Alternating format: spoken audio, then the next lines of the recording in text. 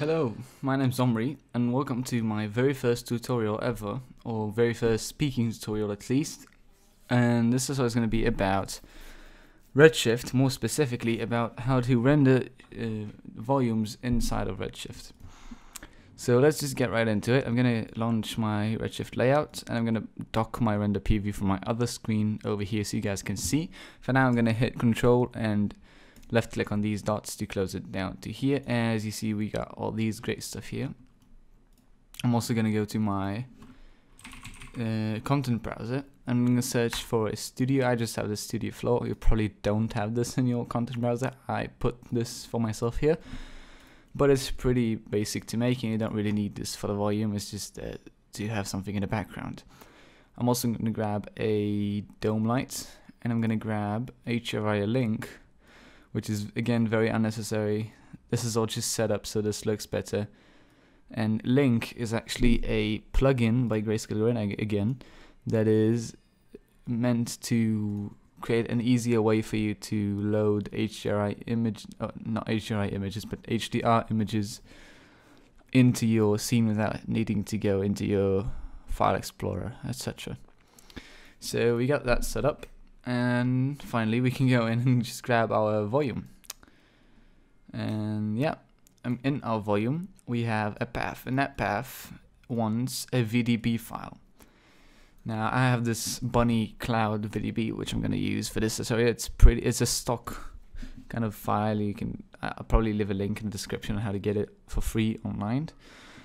Uh, but what is a VDB file? Well, VDB stands for voxel I'm pretty sure voxel database or voxel data something but the key word here is voxels and voxels are like pixels in 3D so if you have a normal image 1920 by 1080 90 or 4k whatever that number 1920 by 1080 is the, the amount of pixels the resolution of your of your image voxels are the same as pixels only in 3D. They're, bas they're basically dots in a 3D uh, in 3D space, and the resolution is how big the, the, how many dots are there compared to the size of the the space.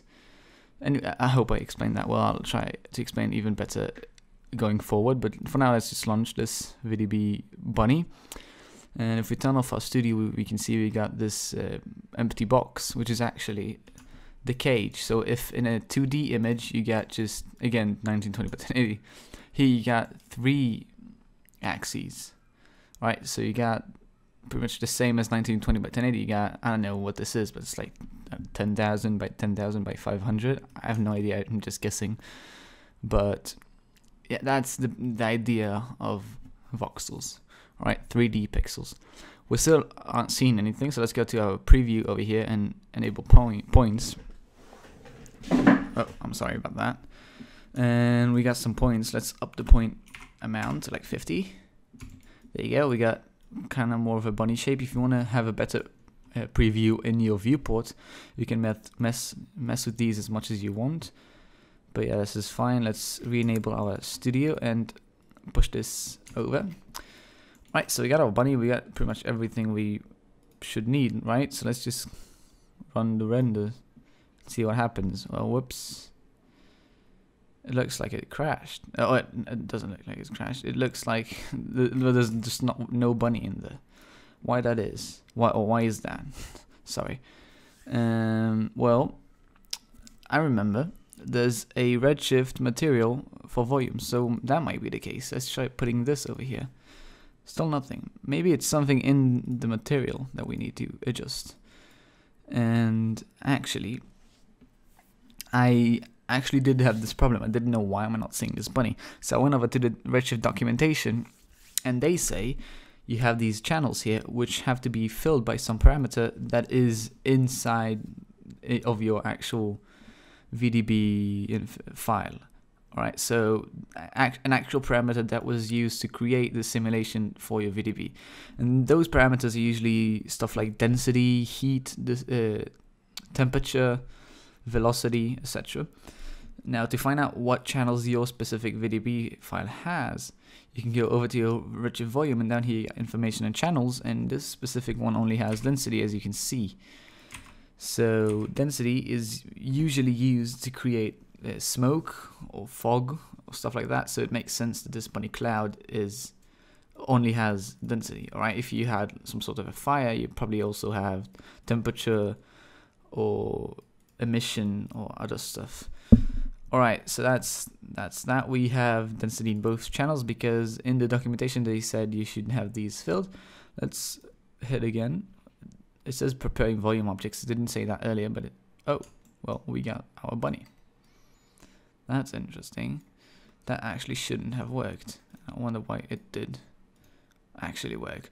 So when I first actually tested this, this is actually weird. So when I tested this the first time, I still didn't see any bunnies.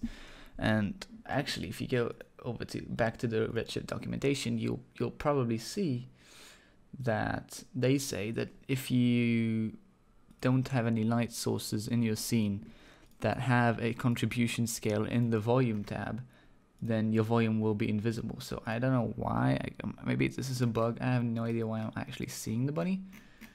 But I do know that if you are not seeing the bunny like I did the first time I tested this, it's probably like yeah you see yeah just put this here important note if the scene does not contain any volume affecting lights the volume will render black so I don't know why I'm actually catching this bunny but if you don't you should up the contribution scale all the way up to one and that should well, it should be the same as this since it's already reacting to the light I don't know what is going on here but yeah we got our bunny now I guess yeah If yours is not working, just up the contribution scale. So now, that's that's all great and all, but I mean, it, it, it's doing some nice shadows. It's, it's actually 3D, and but there's no detail at all. So that's that's probably in the material for us to play with. So I'm gonna open this up and do something along the lines of that and run this. All right, actually, while testing, uh, I've actually found this is not the most stable thing ever. Like it actually crashed on me a few times. So you might either want to just and dis disable the force enabled IPR, which means this is going to render in buckets. Uh, if it, there you go, as you saw, which is kind of more stable than the force enable.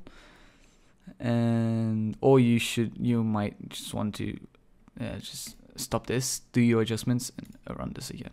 I'm gonna leave it on and hope that it's not gonna crash. It did crash on me several times. I'm gonna save this though, just in case. There you go. Alright. So let's see how we can get this to not be so white and undetailed.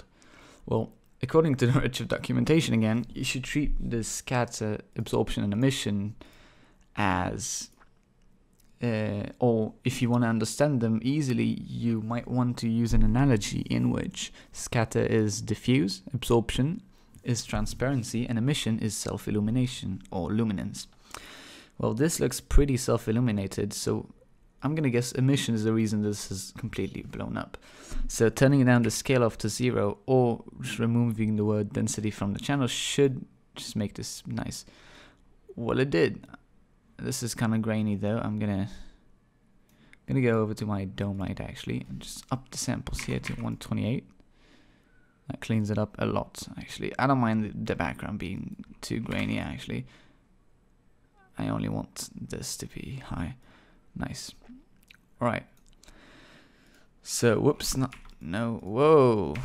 There you, I guess my 2 key was pressed. So that's that. If we just remove the word density, it should do the same thing.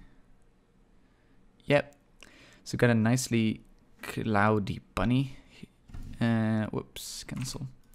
I'm gonna turn down the scale to 0.05, which should be low enough for it to not do too much. 0.01. And I'll just turn it off actually for now. Uh, let's go right up to the beginning to scatter. And in scatter, again, you got your channels to put in your channels. Uh, the scatter coefficients and I'm I'm not sure the about the actual like what it actually means, but for me it's kind of like density in a way. So zero is as you can see it's pretty transparent and it's also pretty it's basically saying how black does a thing a pixel need to be to to be transparent? Oh, oh no. I, kind of think these are connected. So zero means that this black is way more powerful. 10 means this white is way more powerful. The middle is kind of the middle. I'm pretty sure this defaults to 1 which is a good default but you can kind of play with this to make it a little bit more dense but also a little bit brighter. And yeah. So if one is a bit too transparent for you which it is kind of for me because you can kind of see through this guy. So you can maybe put this up to 3 and then mess with other parameters which I'll show you later to make this dark again. And I'm gonna go over this in a second. Uh, absorption you got your coefficient absorption coefficient just like the scatter coefficient which creates a similar effect. C0 just makes it completely disappear. And very small numbers make it really white and very high numbers make it really black. So it's very much like this only the other way around. But one thing you can notice is that this makes it way blacker than this ever could. Uh, so if you treat this again as transparency 10 is not transparent at all. As you can see it isn't transparent. And the lower you get it kind of gets more and more transparent which means it's kind of getting brighter because it's thinner in a way. I'm gonna leave it pretty high actually because I want to make a nice smoke. Right. Uh, next the absorption remap ramp. If you pull this down it's kind of going to be really wide if you pull this all the way over here it's going to be even darker yeah so I'm going to put it like around here actually and if you pull this around, something interesting will happen. You see, it's creating a box. And that box, if you remember, if we go back to a viewport, we see this box. This is actually the volume cage that is being shown. So when they created the simulation, they created this volume cage, the voxel cage, which is kind of the resolution, like again, like 1920 by 1080. This is the resolution of the simulation. But uh, that that is still there. There's just kind of an alpha, a 3D alpha thing going on with it.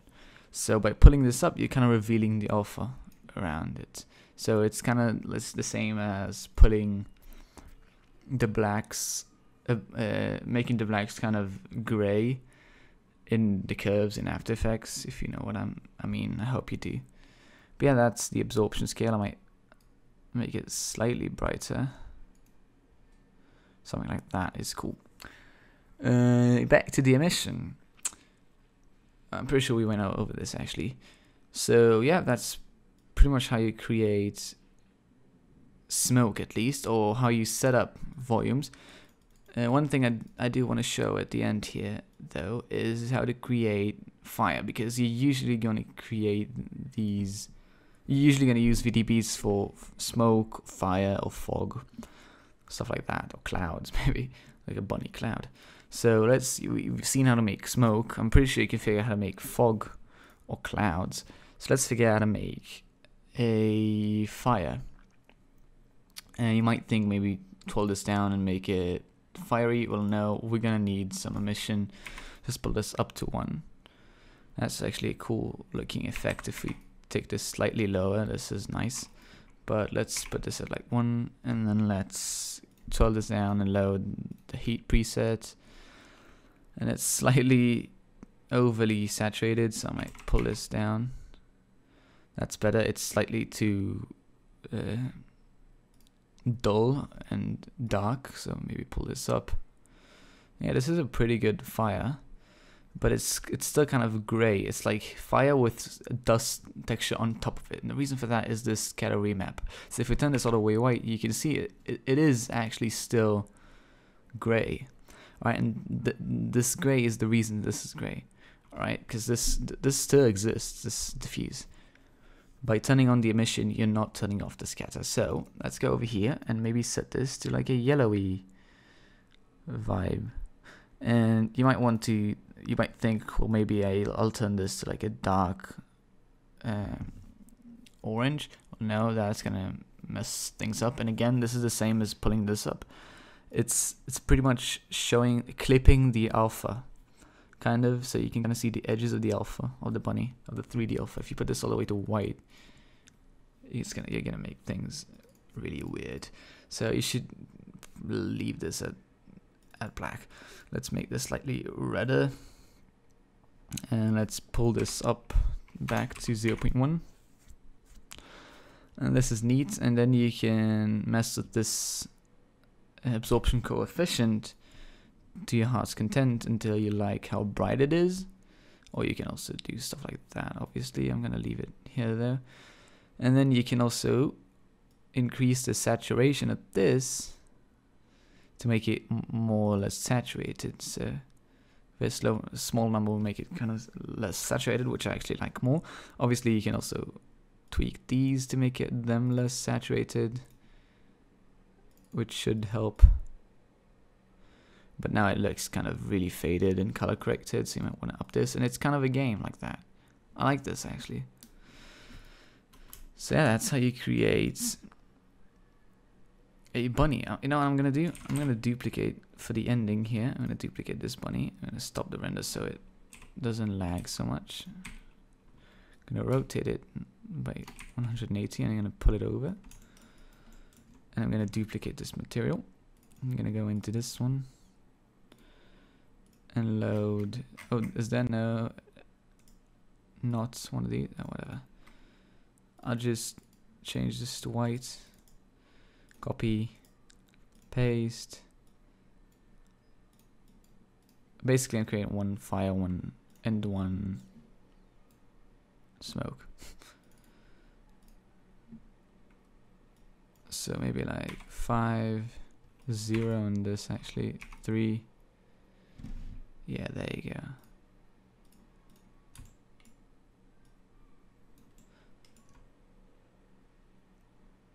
That's a cool frame. Alright, so yeah, that is how to create volumes in Redshift. Uh, that's how, like, I, when I first tried to do volumes in Redshift, I went through all the problems I went through trying to pull this off. So I hope I helped you uh, in that regard. And yeah, I don't really know how to finish tutorials yet. This is my first one. So thank you very much for watching. And I guess I'll see you in the next one.